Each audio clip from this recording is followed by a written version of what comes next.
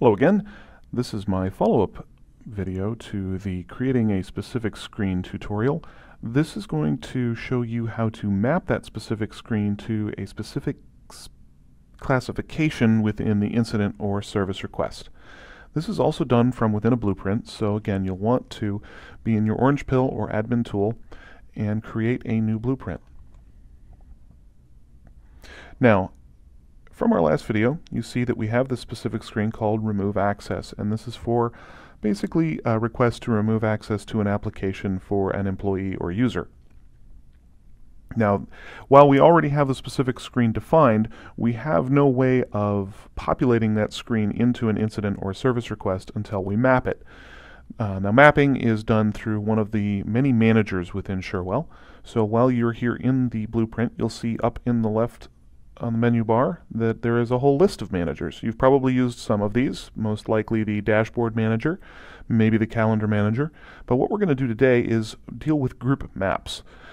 Now out of the box, Cherwell comes with a group map for specific screens. So we click on that and we actually see the map right here. Uh, what you want to do is you want to edit that and you can do that you know from here, from here, you can right click and click edit in any case, you want to bring up the group map editor. Now what you'll see here is what we're mapping, what we're mapping it to, and the fields that we're using to map the specific screen. So in our case, we're mapping specific screens to the incident object. We're using the service as the primary field and the subcategory as the secondary field. Now as you can see again out of the box there are a lot of maps already defined for existing specific screens. We're going to actually create a new one today, and the way we do that is we click on the New Row button here next to the mapping list, and you will see down at the bottom the values that we need to populate. In our case, uh, the first thing we want to do is figure out what the service is. That's our first map field. So we can bring up a list of valid uh, values for that field. Uh, in our case, this is going to be an account management service. So we select account management and in va the value for field 2, which is going to be the subcategory, again, we're going to bring up the legal values. What I like to do is just to make it easier is I'll just drag the service up here into the group by column. So okay, now we look at our service account management. We have a whole bunch of stuff in here. And what I want to use is for remove access or permissions.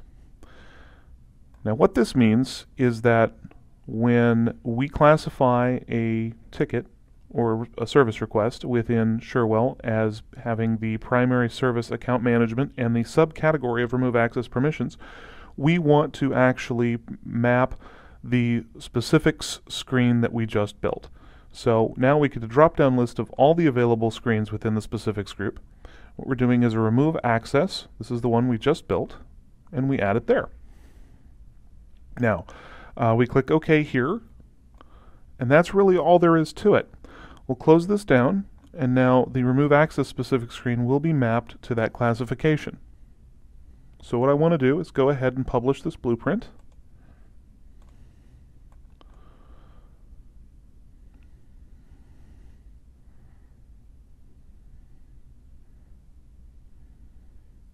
Great.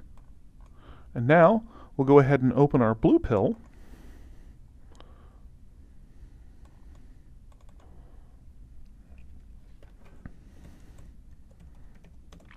log.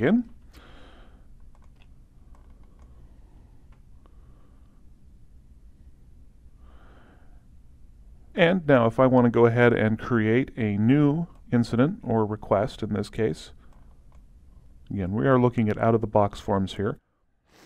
The most important thing to do here is to look at the classification here. Now, what was the service? The service we're talking about is account management.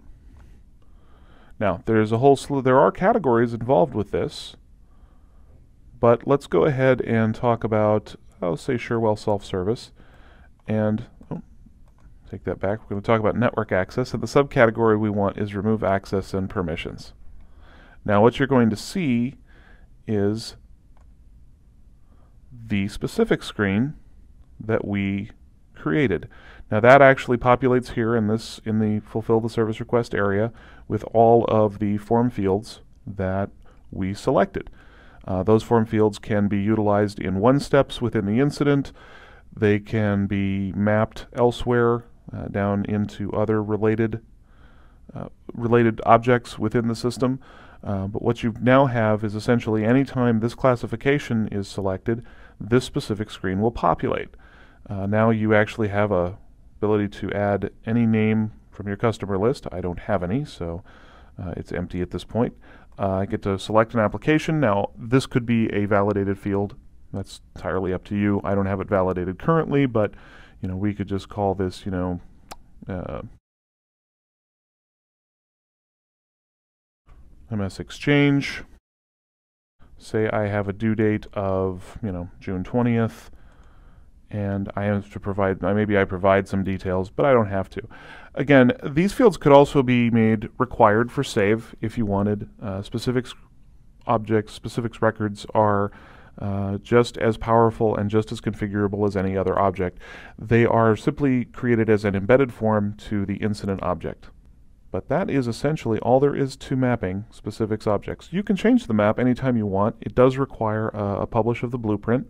The group map manager is only available through the blueprint, uh, through a blueprint editor uh, within the admin tool. So, that's about all there is to it, and thanks again for watching.